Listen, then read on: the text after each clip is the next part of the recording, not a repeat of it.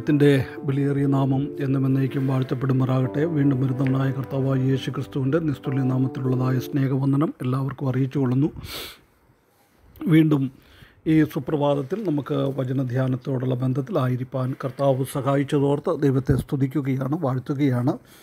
ഈ ദിവസങ്ങളിൽ നാം ഉൽപ്പത്തി പുസ്തകം നാൽപ്പത്തി നാലാം അധ്യായത്തിൽ നിന്നാണ് ചിന്തിച്ചുകൊണ്ട് ഇരിക്കുന്നത്. കഴിഞ്ഞ ദിവസം അതിന്റെ അഞ്ചാമത്തെ വാക്യം വരെ നാം ചിന്തിക്കുകയുണ്ടായി. ഇന്ന് നമുക്ക് ആറ് മുതൽ പത്ത് വരെയുള്ള വാക്യങ്ങളൊന്ന് വായിക്കാം. അവിടെ കാണുന്നത് the brothers claim they are innocent of theft തന്റെ സഹോദരന്മാർ ജോസഫിന്റെ സഹോദരന്മാർ അവർ ക്ലെയിം ചെയ്യുകയാണ് അവർ പറയുകയാണ് ഞങ്ങൾ ഈ കള്ളത്തരത്തിൽ ഞങ്ങൾ വളരെ നിഷ്കളങ്കരാണ് ഞങ്ങളല്ല അത് എടുത്തത് എന്ന് സ്പഷ്ടമായിട്ട് ഗ്രഹവിചാരകനോട് പറയുകയാണ് ചെയ്യുന്നത്. നമുക്കതൊന്ന് വായിക്കാം. ഉൽപ്പത്തി പുസ്തകം നാൽപ്പത്തിനാലാം അധ്യായം ആറ് മുതൽ പത്ത് വരെയുള്ള വാക്യങ്ങൾ. അവൻ അവരുടെ അടുക്കലെത്തിയപ്പോൾ ഈ വാക്കുകൾ അവരോട് പറഞ്ഞു. മുകളിൽ പറഞ്ഞിരിക്കുന്ന വാക്കുകൾ. നിങ്ങൾ എന്തിനാണ് അത് എടുത്തത് എന്നൊക്കെ പറഞ്ഞു. അവൻ അവരോട് അവർ അവനോട് പറഞ്ഞത് യജമാനനെ ഞങ് ഇങ്ങനെ പറയുന്നത് എന്ത്? ഈ വക കാര്യം അടിയങ്ങൾ ഒരു നാളും ചെയ്യുകയില്ല. നോക്കുക എത്ര ക്ലിയറായിട്ടാണ് അവർ പറയുന്നത്. ഈ വക കാര്യങ്ങൾ ഞങ്ങൾ ഒരു നാളും ചെയ്യുകയില്ല. അപ്പോൾ ദൈവസന്നിധിയിൽ അവർ നിഷ്കളങ്കരാണ് എന്നുള്ള രീതിയിലാണ് അവർ ഇവിടെ പറയുന്നത്. അവർ വളരെ ധൈര്യത്തോടുകൂടെ പറയുകയാണ് ആ പാനപാത്രം ഞങ്ങളല്ല എടുത്തത് എന്ന്. കാരണം ഓരോ സഹോദരന്മാരും അത്രമാത്രം അവർക്ക് വിശ്വാസം ഉണ്ടായിരുന്നു. അന്യോന്യം അവർ വളരെ ആരോഗ്യപരമായ രീതിയിൽ ഹെൽത്തി ട്രസ്റ്റ്. സഹോദരന്മാർ തമ്മിൽ ഇങ്ങനെ ചെയ്യുകയില്ല എന്ന് ശരിയായ രീതിയിൽ അവർക്ക് അറിയാമായിരുന്നു.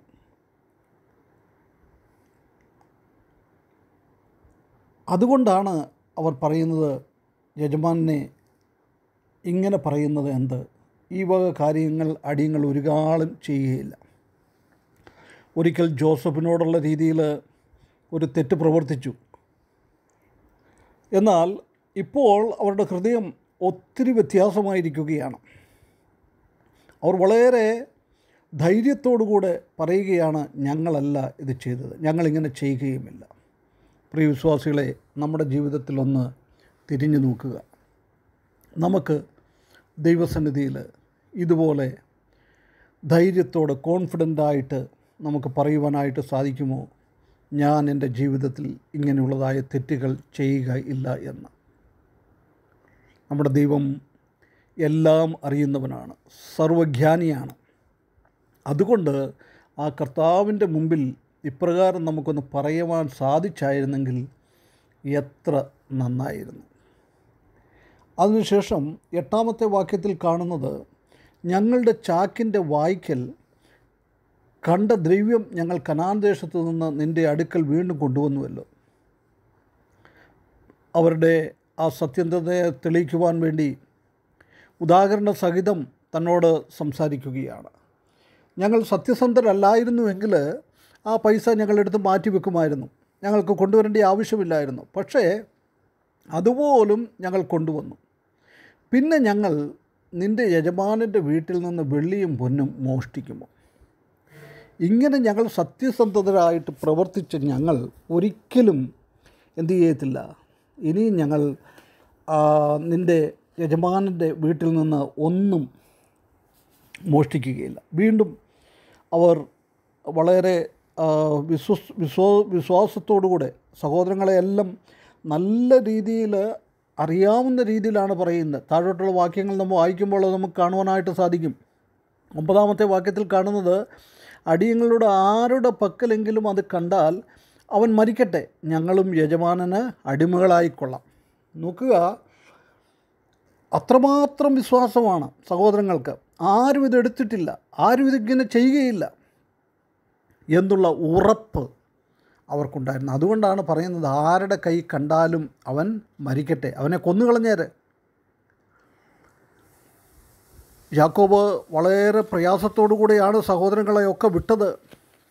ബെന്യാമിനെ പ്രത്യേകിച്ച് യഹൂദ രൂപേന് അവരൊക്കെ ഗ്യാരണ്ടി നിന്നിട്ടാണ് കൊണ്ടുവന്നത്.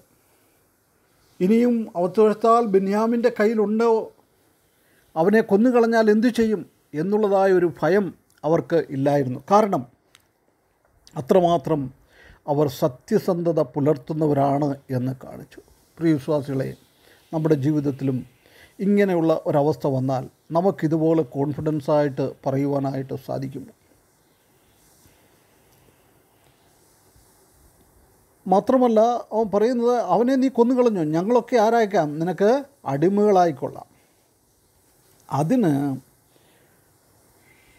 അവൻ നിങ്ങളോട് പറഞ്ഞതുപോലെ ആകട്ടെ. നിങ്ങൾ പറഞ്ഞതുപോലെ ആകട്ടെ തന്റെ ഗ്രഹവിചാരകൻ പറയുകയാണ്.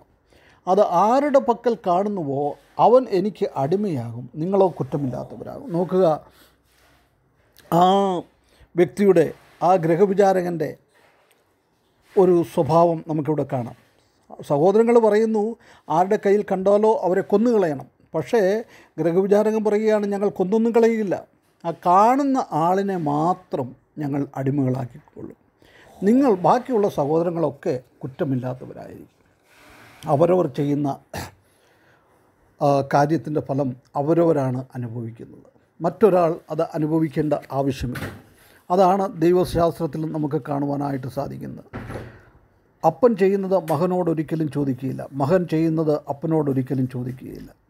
അപ്പോൾ ആ രീതിയിൽ അവനവനാണ് ഓരോരുത്തൻ. ഒന്ന് രണ്ട് കുരുന്നർ അഞ്ചാം അധ്യായം പത്താം വാക്യത്തിൽ കാണുന്നത് ഓരോരുത്തൻ അവനവൻ ചെയ്ത പ്രവൃത്തിക്ക് കണക്ക് പറയേണ്ടതിന് വേണ്ടി ക്രിസ്തുവിന്റെ ന്യായാസനത്തിന് മുമ്പാകെ നിൽക്കണം. അല്ലാതെ എല്ലാവരും കൂടെ ഒന്നിച്ചല്ല. ഒരു ഭവനത്തിലുള്ള എല്ലാവരും കൂടെ ഒന്നിച്ചല്ല. ഒരു സഭയിലുള്ള എല്ലാവരും കൂടെ ഒന്നിച്ചല്ല. ഓരോരുത്തർ നിൽക്കണം. അതാണ് ഇവിടെ നമുക്ക് കാണുവാനായിട്ട് സാധിക്കുന്നത്. പ്രിയ വിശ്വാസികളെ നമുക്ക് ഈ ജോസഫിന്റെ സഹോദരന്മാരെ പോലുള്ള കോൺഫിഡൻസ് ആയിട്ട് പറയുവാനായിട്ട് സാധിക്കുമോ? നാം ദൈവത്തിന്റെ സന്നിധിയിൽ ഓരോരുത്തരായിട്ട് നാം ചെയ്യുന്ന കാര്യങ്ങൾക്ക് കണക്ക് കൊടുത്തേ മതിയാവും കൊടുത്തേ മതിയാവും. ഈ ഭൂമിയിൽ വെച്ച് തന്നെ പലതിനും നാം പകുതി കണക്കൊക്കെ കൊടുത്തിട്ട് വേണം സ്വർഗത്തിലേക്ക് പോകുകയാണെങ്കിൽ അവിടെ ചെല്ലുമ്പോൾ ക്രിസ്തുവിന്റെ ന്യായാസനത്തിന് മുമ്പാകെ വെച്ച് എല്ലാ കാര്യങ്ങളും ചോദിക്കും. അതുകൊണ്ട് ഈ വചനം നമ്മെ ഓർമ്മിപ്പിക്കുന്നത് സത്യസന്ധതയോടുകൂടെ നമുക്ക് വളരെ ധൈര്യത്തോടുകൂടെ ആത്മാർത്ഥതയോടുകൂടെ നമുക്ക് സത്യത്തിനു വേണ്ടി നിലകൊള്ളാം. ദൈവം അസത്യം നമ്മളിൽ കാണാതിരിപ്പാൻ. നമ്മുടെ കൂട്ടു സഹോദരങ്ങൾ നമ്മുടെ ഭവനത്തിലുള്ളവർ നമ്മളിൽ അസത്യം കാണാതിരിപ്പാൻ തക്കോണം നല്ല രീതിയിലുള്ള ഒരു ജീവിതം നയിപ്പാൻ ഈ വാക്കുകൾ മുഖാന്തരം വലിയവനായ ദൈവം നമ്മെ സഹായിക്കട്ടെ. അവന്റെ വിലയേറിയ നാമം എന്നും എന്നേക്കും വാഴ്ത്തപ്പെടുമാറാകട്ടെ.